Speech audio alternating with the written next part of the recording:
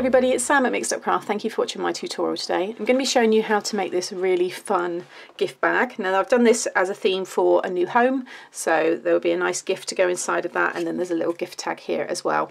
Now this is made using the newly launched Trimcraft USB. I went on there, had a little look and they've got under the sentiments file they have this really cool house so I just I've blown it up on my Cricut design space and uh, yeah I've come up with this bag idea. So I've done double so you've got it on the back here as well. I did make a little boo-boo because ideally the chimney should have been on this side, but when I stuck it down, the chimney was here. So I just cut the chimney off. So you, yeah, I mean, it, to be honest, it doesn't matter. It doesn't actually take anything away from the bag. You can have the chimney on the back or not. It really doesn't matter. But yeah, there was a chimney there. So, but it's a fold flat gift bag. It is three by seven, I believe. So it's a really nice size. It's deconstructed. And if you don't have a Cricut machine or a scan and cut or anything to cut these files, it doesn't matter. You can still make this gift bag. I will show you the sizes. Obviously you won't have this image on the front, but I'll show you the sizes to be able to make it. But it all folds flat, so it's nice and easy to file away. And like I said, just look how cute the house is. And that's just a scaled down version of this house here and you just got this little one here and it says congrats. So yeah perfect for a new home first time home buyer. And I thought it could also work as well for a new baby. So the baby's coming home and it's got no place like home and congratulations. So I thought it can kind of work for both there. But yeah let me show you how I made it. Okay so this is my SVG file. I blew it up so it was nine and a quarter by seven. And I done two just of the background in the blue. And then I then cut the silver, pink and yellow in the actual SVG file, the detail there, and then just pieced it back in wherever I wanted it to be. So I think it's turned out really nice. And along the tall side you want to score at one and a half now if you don't have this you can still make this gift bag you'll just need two pieces that are six and a half by seven and on one of them you want to score along the six and a half side you want to score at one and a half so it'll still be a cute little gift bag Okay, then for the base, because it's deconstructed, I've got a piece that's 8 by 4 and just on every side you just want to score at half an inch. So half an inch, half an inch, half an inch, half an inch. And then you want two pieces for your sides that are 4 by 6.5. And along the 4 inch side you want to score at half an inch and at 3.5. Then along the 6.5 you want to score at 1.5 and then flip it back again and you want to score it two just down to that first score line okay? So you want to do that on both pieces and then from there grab a metal ruler and a stylus from the bottom of that two inch score line where you scored it up to that one and a half score line here. You just want to score down so you're forming a triangle. So like so did I do it on that one? Yeah, I did do it on that one as well. And that just allows us to have this as a fold flat gift bag, which I do like. Okay, you can see those score lines there. So now we can just burnish, so you want to fold your tabs so they are both mountain folds, so the two outer sides. And this one here will be a valley fold just up to there. And then you can kind of lift these two pieces in so they're creating mountain folds like so and you can fold that as well. But you can see now that that's what happens when it folds flat. So that one goes across and that naturally could go either way depending on you know which way we bend the bag but you'll bend it back because that's how it will work. So again I'm just going to move that one there. They should all fall into place which they do Okay, so now with this one here, again, just fold and burnish. And really simple cutting here. All you want to do is just remove the square in each corner. And then just take a little wedge off of each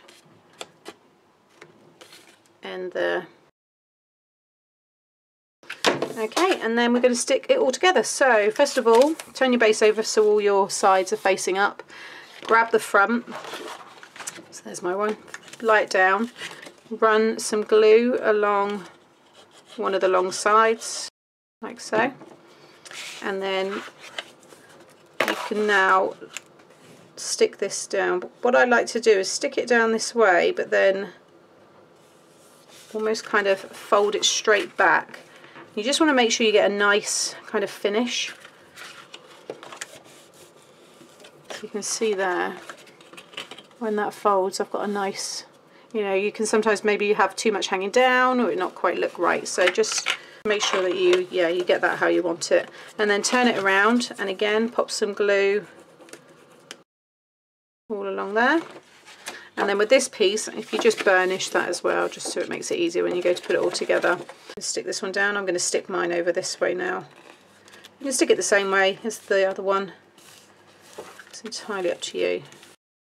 Okay, and then what's going to happen with your side pieces is they're going to stick on here. So I'm going to stick all them first. You want to stick that one down so it sits perfectly in there. And again that side. So again I'm going to run some glue along here. Okay, and now we need to add glue to the side. So if you fold it over and just run some glue down there. And then just bring that up, line it all up. And the top of the card should hit just the house there. I'm just going to bring this down. And then again with the same one, just run some glue. And make sure it all lines up. Okay, and then again do the same with the back. So, and again just pop some glue on that last one. Okay, and I've just realised what I've done. I've stuck the back on, so the chimneys are opposite, and it should have been flipped around. So that looks a little bit odd, but I'm kind of thinking it could be where the handles go. But I think what I'm going to do is I'm just going to remove this completely because I'm not doing it all again. And also it will look a bit odd because that's how it should look because the handles are now going to go through here. So yeah your chimney should be here. You want to make sure it all lines up. But anyway what should happen now is you should just be able to push in the back. Obviously make sure everything is dry. And it should all nicely fold flat which it does like so lovely lovely gift bag. Okay so now we just need to finish off with our holes. So it's entirely up to you where you want to punch them. So I'm going to do them so that they are I'm going to come in from two inches from both sides. So I'm going to do one at two inches so about there and then one at five inches so about there. Okay. I'm just going to grab my hole punch Hopefully that will come down far enough, which it does.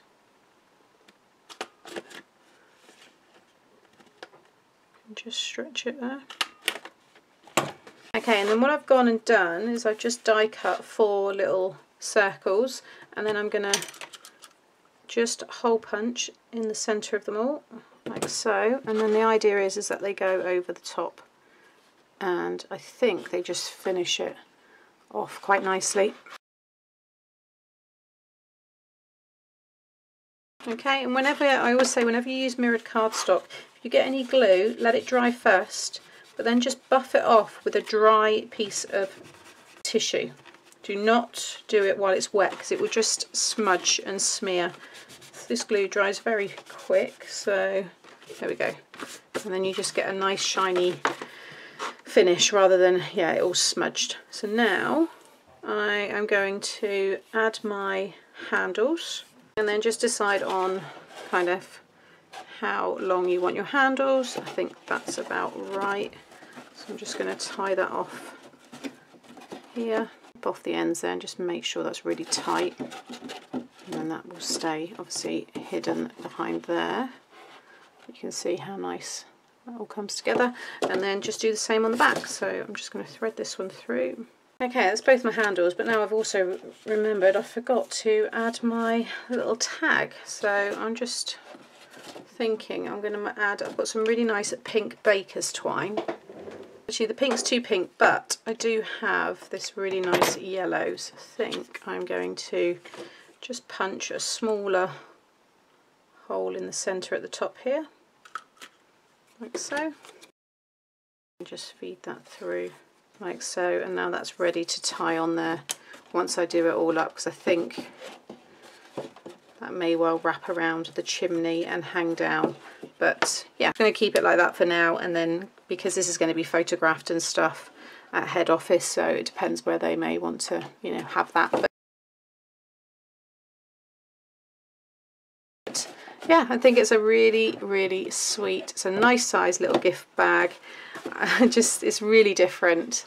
And then it all folds nice and flat. And yeah I think it's super cute. It's been probably playing havoc with my camera whilst filming this but I just love it. So yeah so I am really enjoying my Cricut machine starting to use it lots and lots. And having these kind of really fun cut files to play around with has helped a lot because yeah I've spent quite a few hours now going through it and yeah just playing around. You can't really go wrong with it. The worst thing is you, you just cuts it and you don't like it. You just then you know play around again. So I hope you like this inspiring video and give it a go or try it out. And uh, yeah let me know what you think. So if you've enjoyed today please give me a thumbs up and subscribe to my channel so you get to see more. Thanks for watching. Bye